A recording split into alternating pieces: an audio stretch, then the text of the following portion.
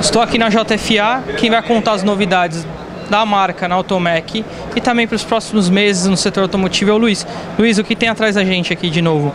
Bom, JFA fez o lançamento agora no Enan, né? Recentemente, é, dos processadores de áudio.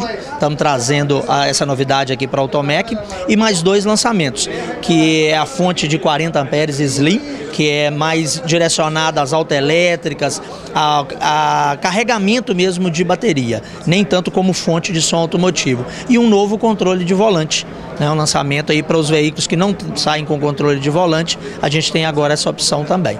Esses produtos já começam a ser vendidos depois da feira? Logo após a feira a gente já tem para começar a entregar.